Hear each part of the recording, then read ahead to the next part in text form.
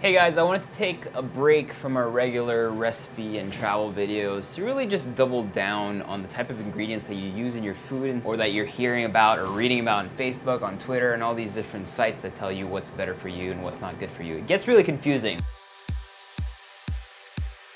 So we partnered up with Landers just to kind of see from their selection what we could pick up and kind of explain to you guys in terms of food that you would usually eat grains. So everyone in the Philippines absolutely loves rice. But there's a general misconception about rice, the different kinds of rice, and what makes it better, bad for you. And then you have quinoa that comes in, then you have chia seeds that come in, and then you have freekeh, you have teff, you have dukkha, all these kind of new super grains that are coming out.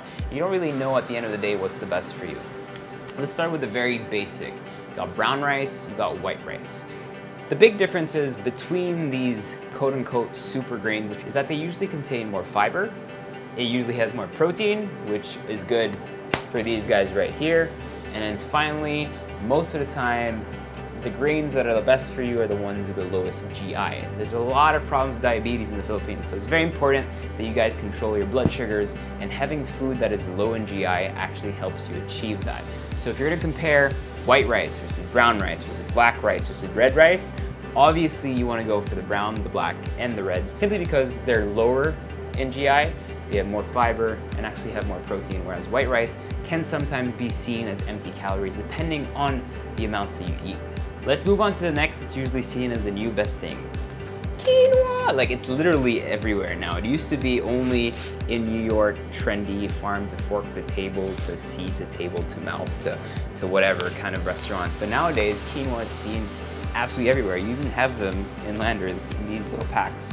Already pre-made, pre-cooked, brown rice, red rice, chia, and kale. This is like the superfood of the future. I feel like astronauts eat this. And here you have quinoa and brown rice with garlic. So these are things that literally would 10 years ago would not have been on your storefront, would not have been on your shelves, but nowadays they're so popular that you actually have them in convenient, ready-to-eat packages. Why is quinoa so good compared to any other grains that you have there? Simply put, it has a lot of protein. So for grain to protein, which is great because if someone that's watching your carb intake, controlling your macros, how many grams are you're gonna eat of fat a day, how many grams of carbs are you gonna eat a day, how many grams of protein are you gonna eat a day. Something like quinoa has a good balance of protein and carbs.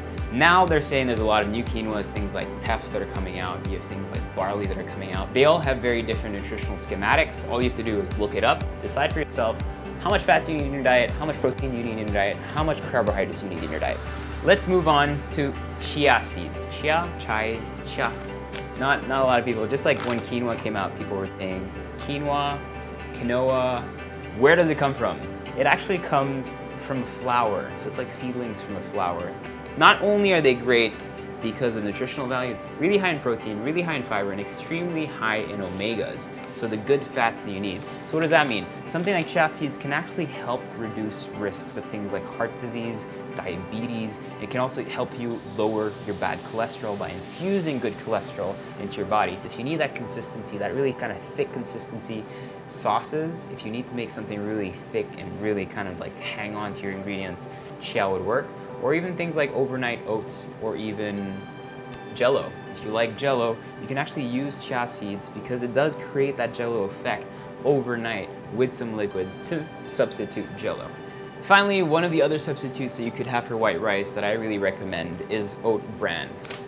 Oat bran is simply the husk that comes from the oat seed, so it carries so much fiber. So this is something that can really just help you lower your cholesterol, can help prevent heart diseases, and at the end of the day, it can help with weight loss. These kinds of food, especially with high fiber and high protein, will keep you satiated. What does that mean? It just keeps you satisfied longer, right? So if you eat something that's really high in fiber, really high in protein, compared to something that's just high in carbohydrates but low in fiber and low in protein, this will actually keep you full for two, three, four, five hours. Whereas if you're just eating sugar or just a bowl of white rice, you'll eat it, but what happens in two hours?